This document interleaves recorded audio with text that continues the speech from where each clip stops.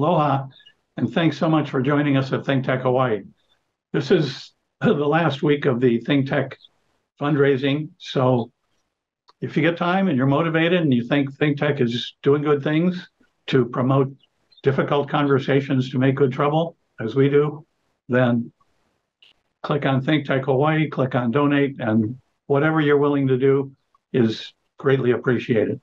We have with us today retired Judge Sandra Simms and author, now working on her second book, David Louie, who's a former Attorney General of the state of Hawaii, law partner, and also an author, and maybe working on his second book, and Professor Emeritus from the University of Toledo School of Law, Ben Davis, who's now visiting professor at Washington and Lee School of Law, and David Larson, immediate past chair of the American Bar Association section of dispute resolution and professor at Mitchell Hamline Law in Minneapolis, St. Paul.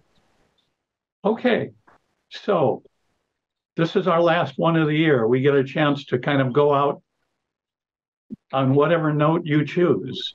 Um, what do you think are the challenges that really face us going into 2023? Sandra, you want to start us off? The challenges. Okay, I can start. The challenges. I think I don't know if I'd start with challenges because I think we're sort of ending this year on, at least it appears to me, uh, quite a hopeful note. Um, I think, well, for those of you who, who, who think so, I think the election results were, midterm elections results were considerably more than we had expected and turned out to be a far more positive situation uh, than we, than those of us who you know lean toward that that side uh, would imagine. I think we made some progress in addressing the issues that were generated by the overturning of Roe versus Wade, um, and as well as uh, forestalling any sort of um, pushback on interracial and same-sex marriage, um, which hadn't been codified before. So that's like there now, and uh, we have, I was noticing yesterday, uh, listening to some of the Sandy Hook uh, tributes, that the young people who are coming out of that, who've been very, very energized um, to address some of the key issues that surround young folks, are now turning 18. They're registering to vote. We're seeing more of that. So actually, um, it's kind of hopeful right now um, for some things to, to to to make. There's obviously obviously there's still challenges. But uh, I've been saying all year that you know the young folks are going to save us, and apparently they're getting ready to do so. yeah, it was certainly not the seniors in their voting, at least the white seniors. so one of the challenges that goes along with the bright spots that you just insightfully pointed out is if the Republicans control the House and the Dem- Democrats control the Senate and the executive, are they just going to shut things down in gridlock?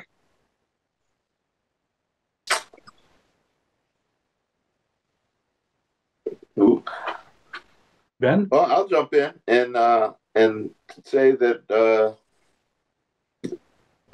say that uh, it's not uh, looking so good. Okay, I mean, once the numbers come up so that there's a Republican majority in the House, you know the the first intimations, leaving aside the whole McCarthy thing of whether he's going to make it or not, but the whole intimations of what's on their agenda did not look like it was an agenda of uh, moving on or addressing uh, particular problems of people. You know, it was sort of like let's have a lot of uh, of hearings on various things. And Hunter Biden's laptop, I've been, I, I, think I have, I must have that in my closet here. You know, that's where it's being hidden. You know, uh, know, there's a lot of that going on. Now, I don't know if uh, uh, this is kind of the the bluffing beforehand, but uh, one thing that uh, I do uh,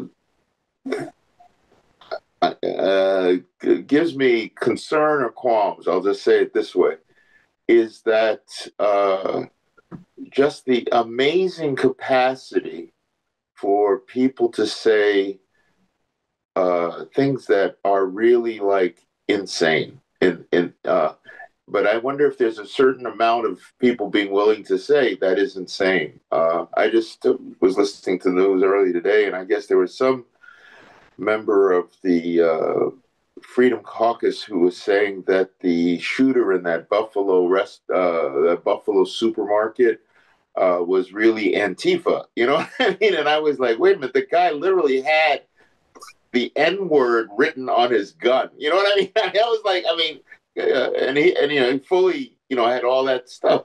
But I was like, seriously, is there? You know, it, it, it's almost like it, it's so crazy that uh, I don't know how that plays out with 80 or 90 percent of Americans, but uh, I, I, look at that and I say, uh, whether you're trying to quote unquote own the libs or not, it's just insane. I mean, you know, I mean, if somebody could feel owned by that, it just seems that, you know, you look at the person and say, geez, have you taken your medication? You know what I mean? Because, uh, so, you know, there are things like that that, um, uh, there's this kind of weird reversal thing that goes on where you have this sort of political discourse that's all there.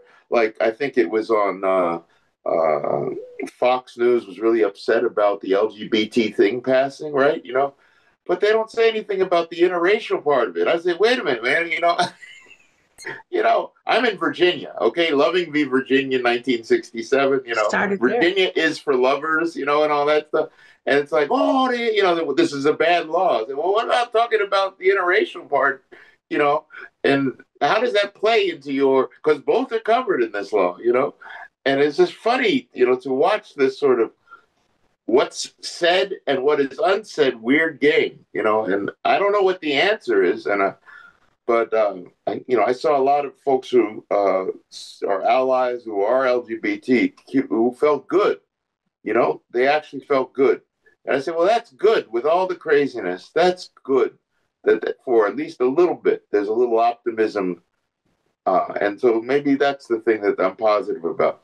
But uh, you know, I saw. I, I there's another thing is, and I'm going to end with this is, uh, I you know I I believe in in uh, faith and things like that, and re, you know religious faith and all that.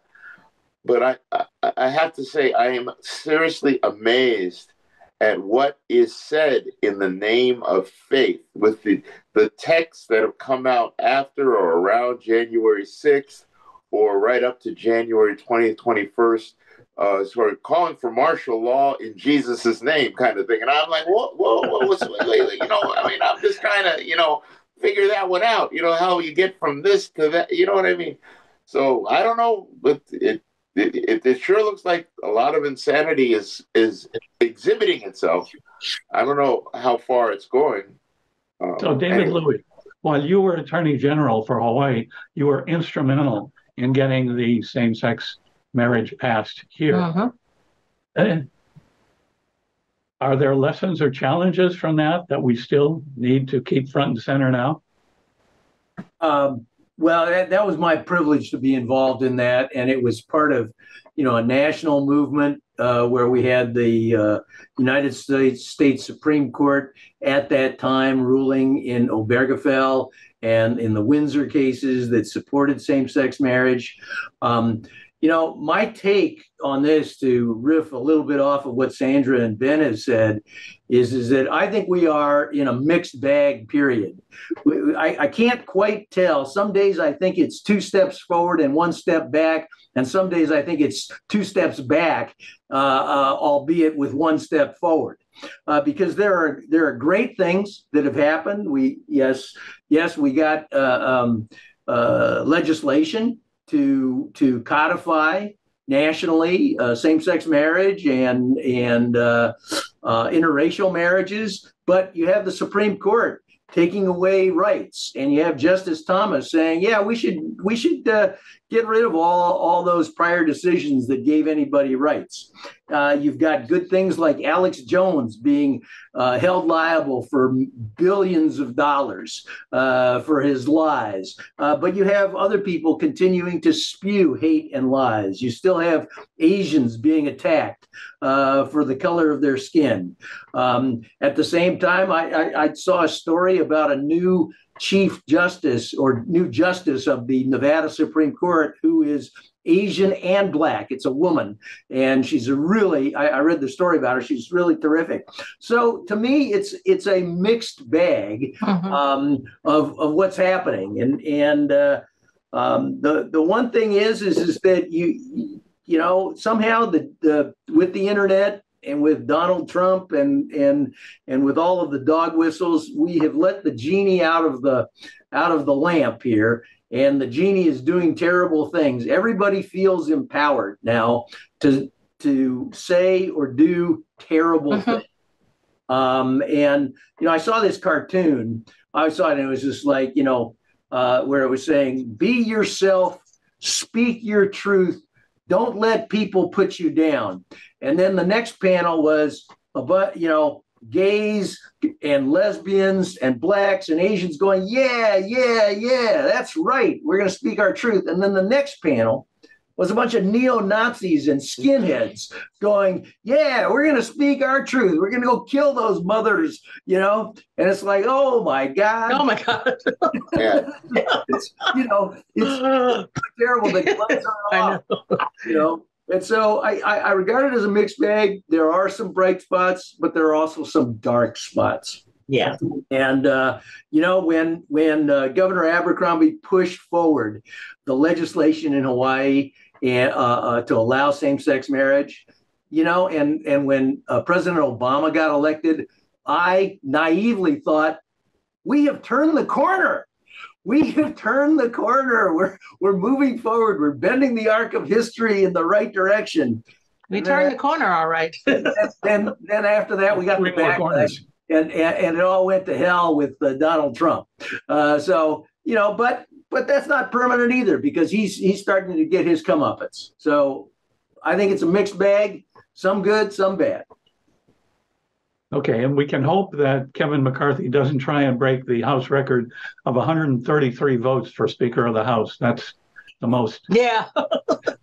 so, David Larson, where do you think we're headed, and what's in the way of that?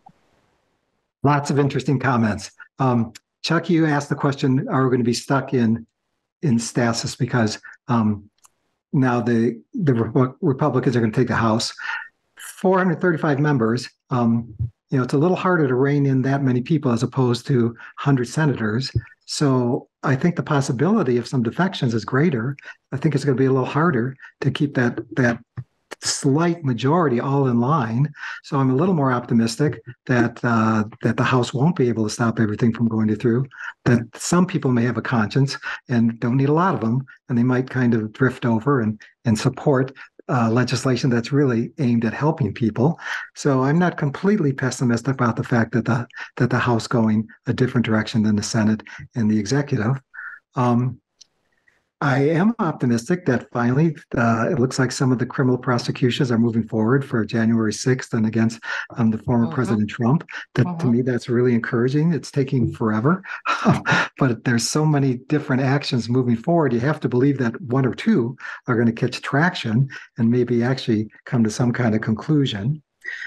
Uh, I am still a little concerned about, I think we still have culture wars. Um, you know, we still have some very strong positions in terms of abortion, um, uh, in terms of um, in, ra- in positions on race and, and sexual orientation. And I think those are challenges going into 2023 that how can we begin to close the gaps in the culture wars and that people are so polarized on different positions.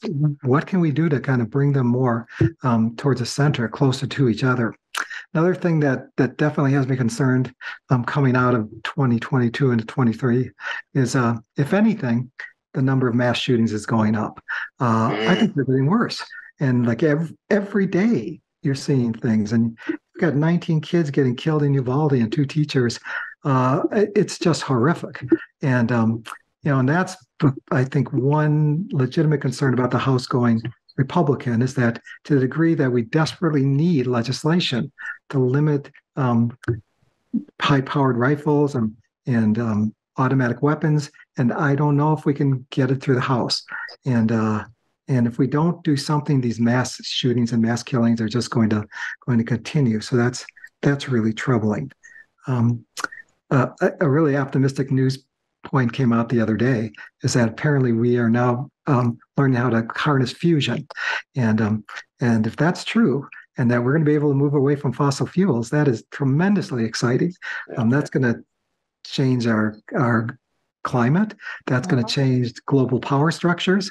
Um, that's that is a remarkable discovery, and hopefully, what we're hearing is true, and that they actually can move forward and and capitalize that in, in a as quickly as possible and as efficiently as possible. So that's something I'm Yeah. definitely optimistic about. Well, that's a great insight because Yeah. it gives us direction and motivation. And that may be what's most needed to deal with these challenges. That if some people are stuck, remind them the great majority of the populace prefers gun control, abortion, affordable housing for the homeless and the poor, healthcare for the homeless and the poor, all of those things. So, is there going to be any progress on any of those? So there was a story on NPR this morning about how the Republican legislators in Ohio are trying, and, and in a bunch of states, uh, notwithstanding the overwhelming popular sentiment in favor of various uh, initiatives and rights, that the Republican legislators are trying to take away the ballot initiatives and and and the fact that you could change the Constitution by popular vote. So what you have is, is the hand reaching up from the grave uh, to try and you know kill the future uh, and the popular will. And it's it's unfortunate but that goes along with the exercise of power. You will always have people trying to uh, control others uh, and, and, bend them to their will uh, and do things that are against the will of the people which is unfortunate. So i don't know that we I, you know you got to get people activated. You got to get them out to vote uh, and unless they're willing to exercise their rights, those rights are going to be gone. The, you know, Democrats were motivated to vote in these midterms, I think, in part because of the overturning of Roe versus Wade. But I also think that a lot of people were motivated to vote, and some Republicans, because it finally began to sink in that they're that that democracy is fragile, and that um, Yeah. you can slip into an autocratic state a lot more easily than perhaps we once thought. And I, I, listened to a lot of interviews of voters in Georgia, and there were Republicans saying, "I- "I'm voting in this election because I'm concerned about the future of democracy." Yeah. And I didn't hear that so much um, even four years ago. So Right. to me, that that's encouraging. That, that the idea that people are saying we really do have to protect this, and I think the the failure of so many Trump endorsed Republicans around the country is a recognition of that. That we really need to elect responsible, intelligent people as opposed to um, extreme ideologues. Mhm.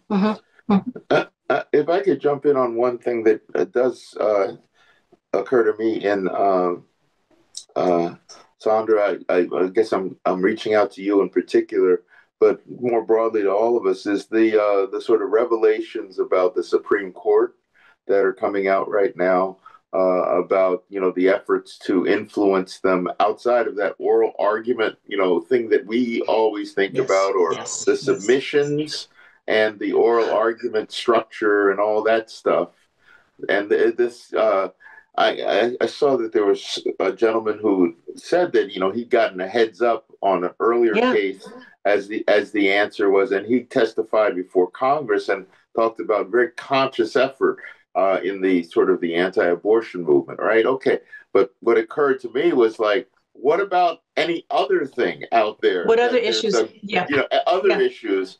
Um, I mean, we've had uh, at various law schools. Have been, you know, you'd have a Supreme Court justice who would come and talk, you know, and you know, you could you could see a Supreme Court justice speaking to a group or this kind of thing, and like seeing an effort to really sort of shape the context for them uh, in ways that I found really kind of uh, nagging at me that that they've got to deal with this in some way. I don't know if they're able to do it, but it, it, it you know if if people are really feeling that it's just politics and uh, who you know and you know and who can influence, um, uh, which maybe a lot of people already think. I still think Yeah. it's really troubling. that At least the forms of of distance and the forms of uh, uh, independence, because it got me thinking all the way back to the cases in the 1800s and 1900s. Was there, you know, the kind of club thing at the Cosmo Club or whatever it was going on,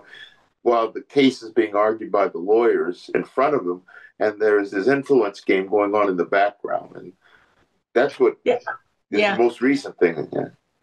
Yeah, I, I was gonna get to that in a minute. The, the sort of the concern about the Supreme Court um, is something that's kind of nagging at me too. You kind of think that, wait a minute, we're really entering into an era where that's our Supreme Court is not viewed in the same way that, you know, those of you who are on this panel would have seen how a Supreme Court is to be regarded, how you regard the uh, rules of precedent, and even their interactions with each other. The upside, though, well, uh, it's kind of it's it's hard right now to watch what's happening in the Supreme Court. At least to me, it is. Um, Mm. You know, I think that I think postponing Garland for a year Yeah. and then putting Barrett on in a week, I think that Yeah. those two actions really destroyed a lot of faith in the Supreme Court. he did. The idea did. that it's a non-political body because that's the only way you can explain that. Mm. Yeah. Yeah. It's raw political power. Yeah. That is troubling. That part is, and then of course the whole Thomas, Ginni Th- Thomas and his wife situation is. That's that's just plain scary to me. Uh, that that's just scary to me that you could have that kind of. I mean, not that you have that relationship, that's fine, but you just glibly say that it's not having an effect on how you're making decisions. Nobody believes that. Right. Right. Nobody believes that. That's No. just, I don't know. Nobody can believe that. Right. I mean, it's quite disappointing to me that the justices of the Supreme Court refuse to establish any kind of an ethics code, any Mhm. kind of a behavioral code, uh, any kind of, of, of code at all, or just rules and regulations that they will not cross.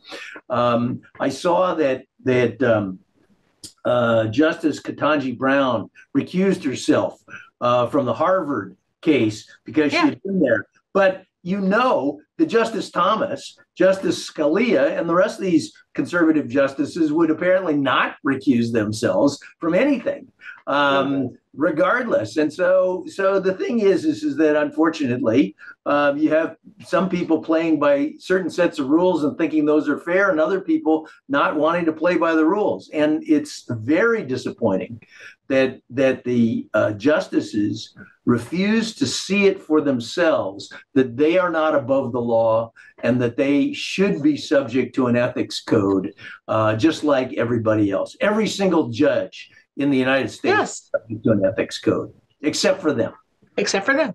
Yeah. And we have a chief justice who does not appear to be effective in- in bringing influence to move in that direction. Well, that makes me think of another thing. Is this case about the what is the independent legislator case that was argued in front of the Supreme Court, where Yeah. I think it was the fifth, the, the chief justices of all fifty states and seven territories wrote to the Supreme Court saying, "This is a bad idea." you know, I, I mean, I was like, "That's pretty. That's pretty intense to have fifty chief justices right of the state Yeah. uh, Supreme Courts writing to the federal Supreme Court saying this is a bad idea. You know, we'll see what happens, but Yeah. you know, I'm like that's pretty powerful. You know, that there, Of course, The, the, the, response will be that, of course, they're going to say that because what this theory does is cut them out of the loop. So the, the, the, the response will be that uh, we can dismiss what they're saying because they just don't want to be cut out of the loop. It's all about their power. Um, yeah, but yeah, but you know, I'm, I'm just gonna say, ah, yes, I don't buy- I don't buy that. It's Madison. It's Madison. There it is. I- you know the the Yeah. checks and the balances and the fighting and all that stuff. I- Yeah. It- it- Yeah, I just want to make sure that I don't. I, what I just said isn't what I maintain. yeah. Yeah. No, I- Yeah, That's no, I, but that's doing. the that's the side of it that is Yeah. may get promulgated. Uh, should that argument come up in front of us? I, yeah, it is. Seeing our Supreme Court now is is is very very troubling to me. Well, you know, the idea that it just it literally blows my mind. The idea that interracial, the legality of interracial marriage is back on the table. It's like, Yeah.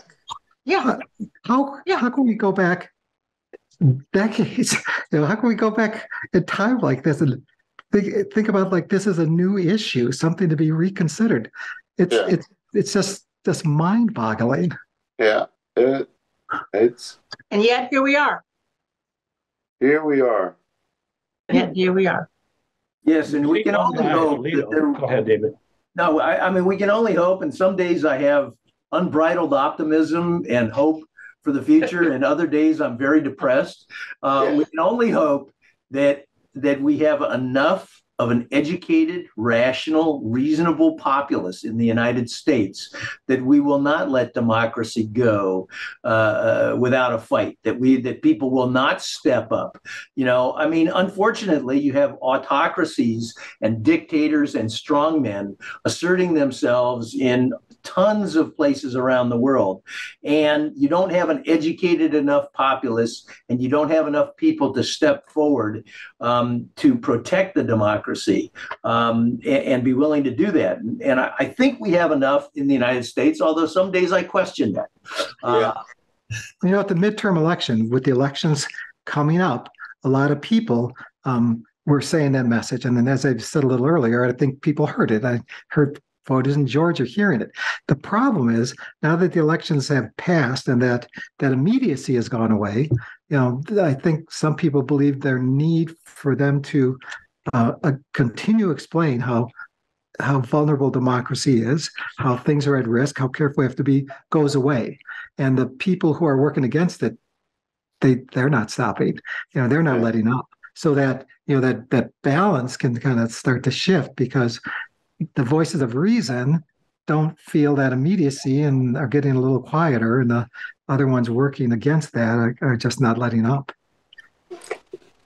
And then our last minute, Sandra, any words of wisdom going forward? Hey, David Larson, I, I, I hope you're wrong.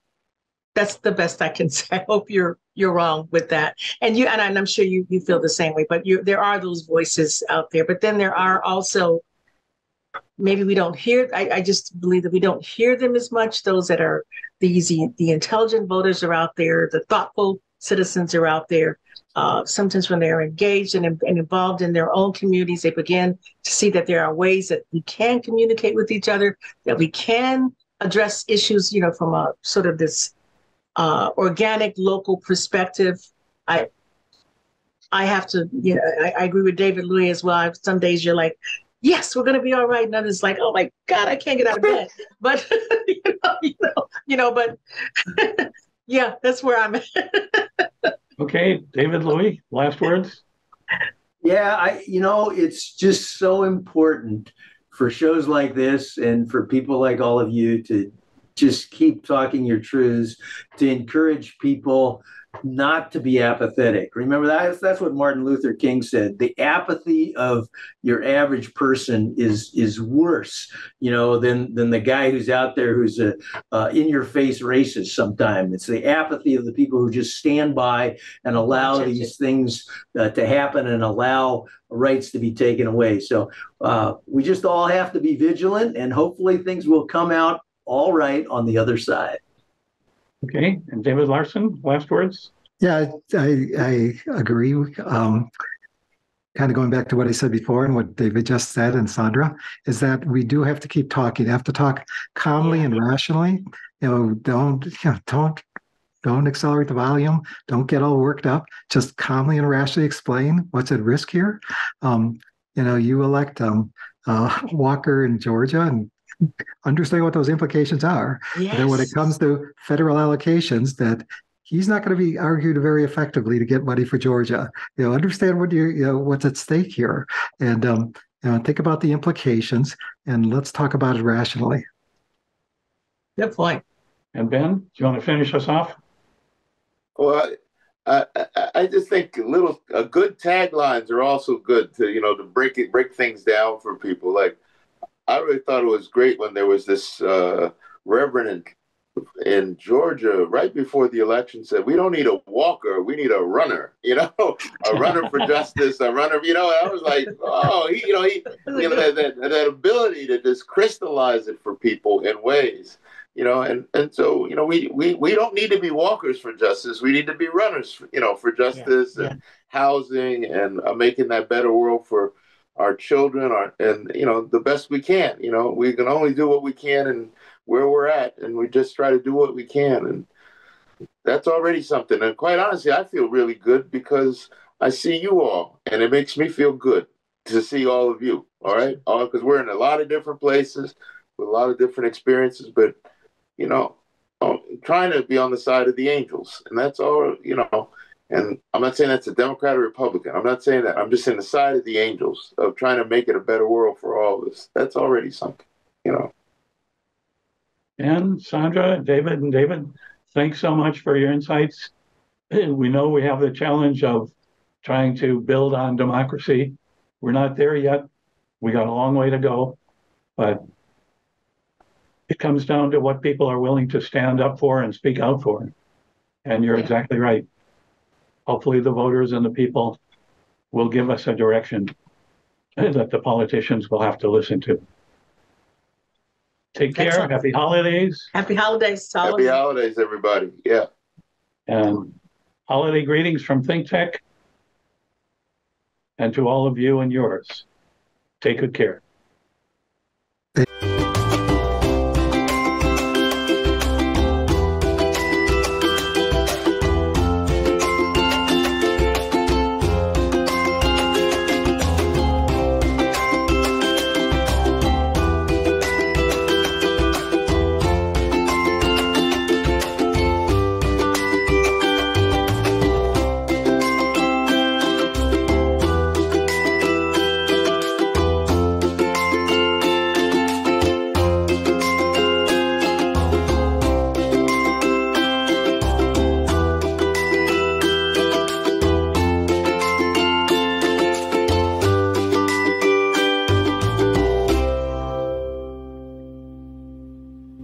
Thank you so much for watching Think Tech Hawaii.